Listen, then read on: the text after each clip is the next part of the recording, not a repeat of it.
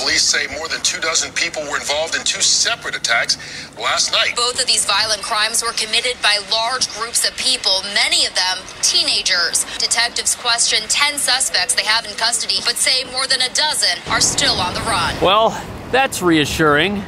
Kind of. Police investigating two violent attacks that happened just hours apart in Times Square. This same area, you have multiple migrant shelters.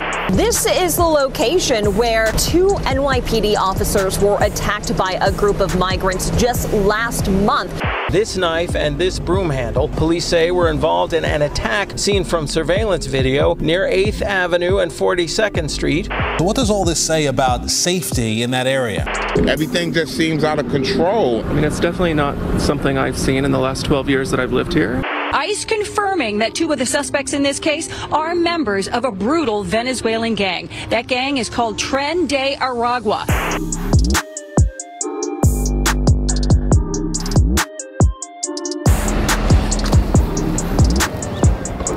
So here we are, just south of Times Square, and right now there's a manhunt going on for 16 different people. And if you add to that two outstanding suspects from another incident, that's 18 people who may have done something that the police are looking for.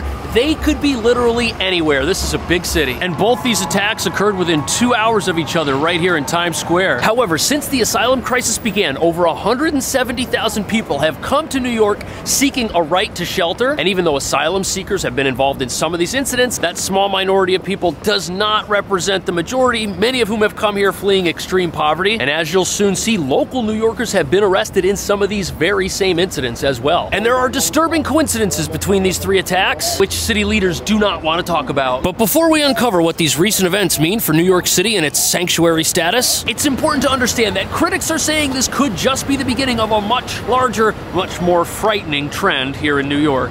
19 year old charged in the attack on cops is now accused in a robbery, and questions are growing about why he was let out in the first place. Eyewitness News. So, this is one of the asylum seekers who was arrested in the police attack a month ago, released without bail, and then rearrested after a shoplifting incident. That's a lot of arrests. Now, you'd imagine that somebody who recently was arrested for attacking the police would lay low for a while. But no, that's not what happened. And critics are blaming New York City's consequence free environment for proliferating this type of activity. And they say if somebody can attack the police and then get released, it should come as no surprise when they do something else that is also against the law. But this very same person was arrested a second time, and maybe this time they learned their lesson. Remorseful? Maybe it looked like that at first. Look a little closer. The 19 year old repeat offender cracked a smile once inside the back of the cop car. Police benevolent. Doesn't seem like they learned anything, and they're smiling because they understand that the justice system will probably treat them the same way this time as it treated them last time. After all, if you shoplift in New York City and the amount is less than $1,000, it's only considered to be a misdemeanor. And critics say watching videos like this explains a lot, and it also explains why we as New Yorkers should get used to hearing about more and more incidents like this as time goes on and the laws remain the same. And once you understand the shocking events that unfolded right here, you'll understand why.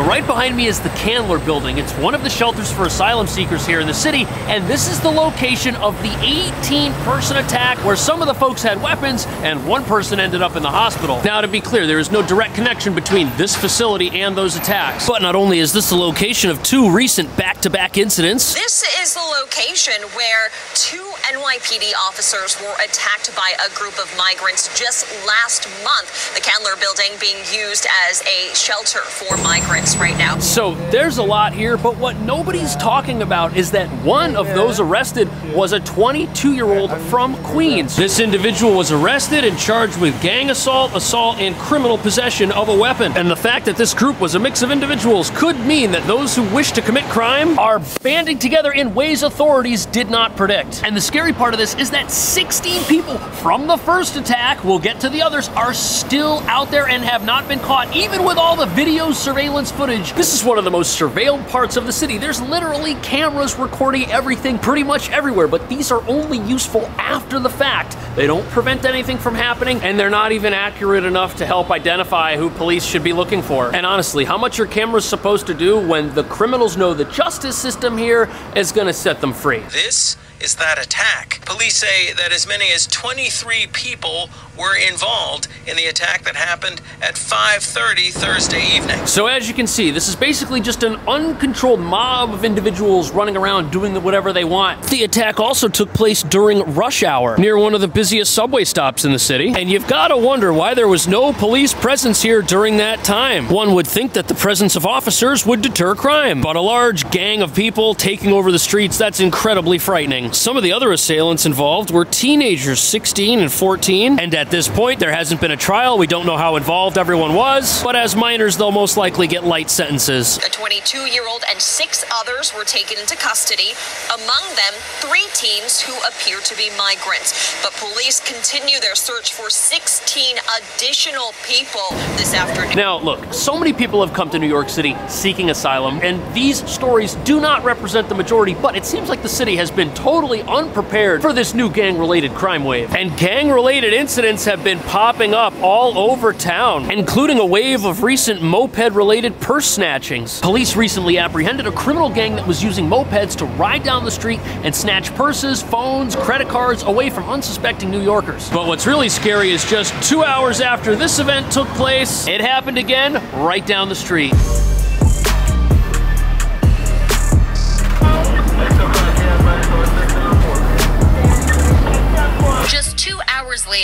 43rd Street near Broadway, another dispute turned violent. Three suspects were taken into custody, but police are still searching for two others. So this second attack took place the very same evening at 7:30 right here at the Hard Rock Cafe. And it ended with 5 people assaulting one person, and two of the suspects in that case are still on the loose. Now police say there's no connection between these two incidents which occurred very close to each other in the same part of town, but I think there is a connection and I think that the city just doesn't want to address it. But these gang-related aggressive attacks are taking their toll on New Yorkers because if you're not safe in the busiest part of New York City, where are you safe in New York City? And directly across the street from the Hard Rock Cafe, there is a police station right there. They can see the building. Now look, this is not the fault of police. They have a very tough job. Pretty much everybody that they arrest gets released. That's very depressing. Plus there aren't enough police. Everything just seems out of control. I mean, it's definitely not something I've seen in the last 12 years that I've lived here. Um, but if it's happening more often, it sounds like it's becoming an issue. So as you can see, residents are really starting to worry for their safety. Now, the glue that joins these two events together, observers say is the get out of jail free environment that New York City has fostered with its laws. Because although New York City is already a haven for local criminals, some of those involved in the recent assaults were wanted by ICE. And critics say New York's status as a sanctuary city is exasperating the attempts of police to control the environment and keep everyone safe.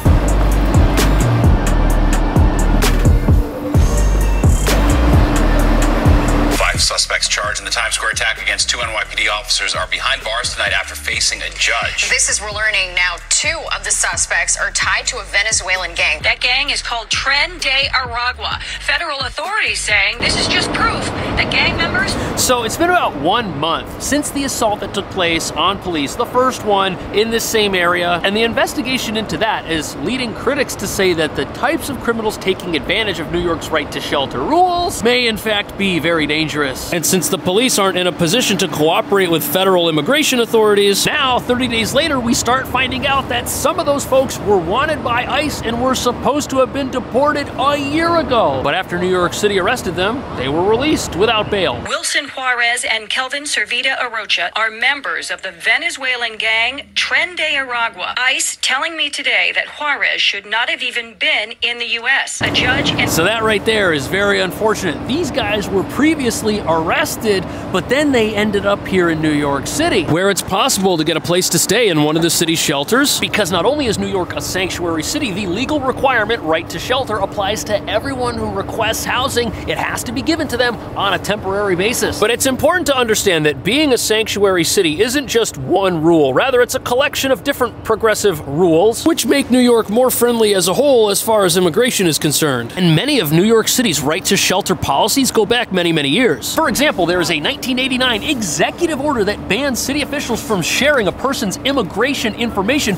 with the federal government unless it involves a criminal matter. And And apparently this order was reissued by several mayors, including Rudy Giuliani, a tough on crime Republican mayor who would never do such a thing. But critics say the worst sanctuary policies did not come until 2014 under the de Blasio administration, where laws were signed to limit cooperation between the NYPD and federal immigration authorities. Those laws removed ICE officials from New York jails like Rikers Island, as well as barring the NYPD and Department of Corrections from honoring detainer requests. A detainer request is when ICE officials ask the NYPD or the Department of Corrections to hold on to a certain individual or to keep them in custody until ICE is able to come pick that person up. Today, such requests are very limited and can only be honored if the accused individual is involved in a serious crime. However, critics say the real problem for New York City is that criminal sympathizers are running the Justice Department because New York's sanctuary policies have been around a lot longer than today's progressive district attorney. Now they, along with five others in this case, are behind bars at Rikers. After their initial arrest, Juarez and Arocha were released without bail by DA Bragg,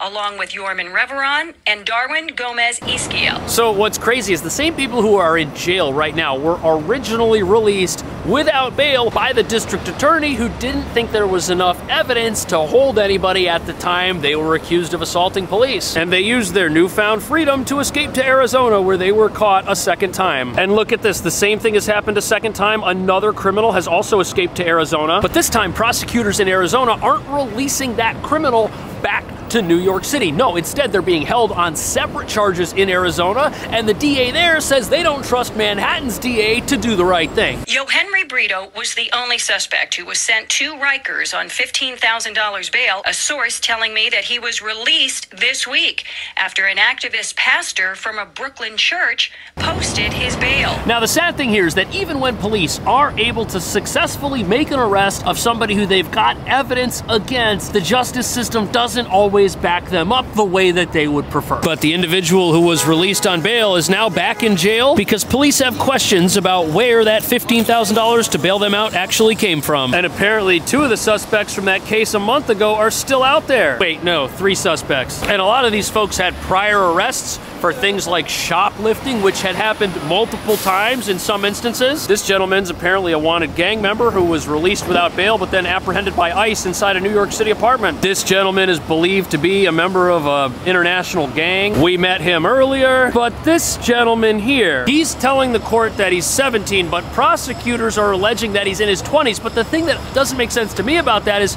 how do we know anything about this person? If we don't know their age, how do we know that the name they're giving is the correct name? Your name and your birthday are on your ID. If that ID's available, they should know everything. But as frightening as all of these crimes are, humanitarians say that they do not represent the majority of asylum seekers. And many are frightened that the city may now be enacting new policies that will unfairly punish all asylum seekers for the actions of just a few who slipped through the cracks.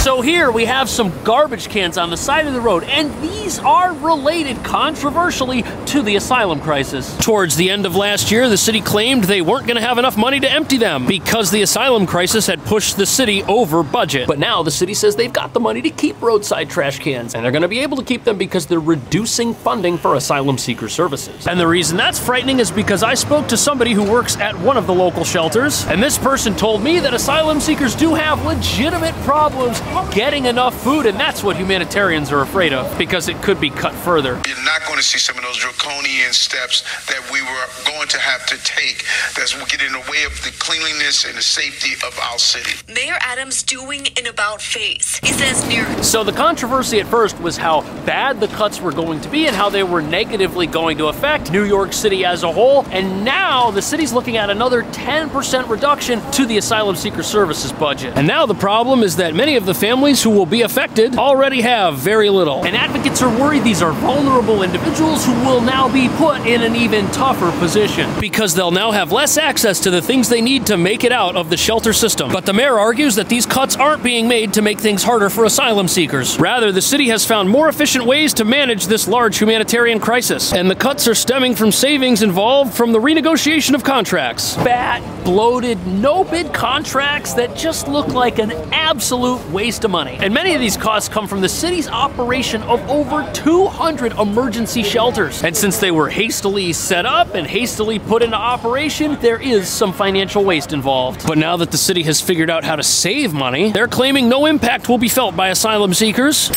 And they're saying that the city will now be able to continue hiring police. Under the old budget with the old cuts, the police would have canceled the last five or the next five academy classes. If we had to third rounds, it would impact garbage pickup. It would impact uh, services to our older adults. It would impact libraries. It would impact a series of services that you would actually see the difference. So these cuts, not just about police, not just about trash cans, the city also would have had to fire the people who take care of the parks. The former cuts would have also seen reductions in roadside trash cleaning. The cuts also would have seen libraries closed certain days every single week. But the city says they were able to report higher than expected tax revenues, so now they don't have to make any of these cuts. When combined with the reductions to the asylum seeker funding, which again the city says are coming from cost savings initiatives that won't have any negative effects. We are far from out of the woods, but we're showing that we can manage this crisis if we watch how we spend and we manage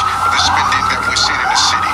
So I guess this means the city won't be wasting 70,000 meals a month that nobody eats by throwing them in the garbage because their quality was repulsive. Yes, that actually happened. The city was literally throwing money in the garbage. But the real issue here the city doesn't want to discuss is that there is no end to the number of right to shelter requests they must honor. Right to shelter is the law in New York City. Everybody who asks gets free room and board on a temporary basis. And as long as the southern border remains in its current condition, critics say that laws New York Democrats and New York Republicans both contributed to will continue to put an unfair burden on New Yorkers. And for months, New York's elected officials have been calling for more leadership at the southern border. And what exactly do you think city officials here mean when they say they want leadership at the border? What do they mean by that? And is the asylum crisis a crisis of New York's own making, or is it something else? Let me know. Thanks for watching. I'll see you in the next video.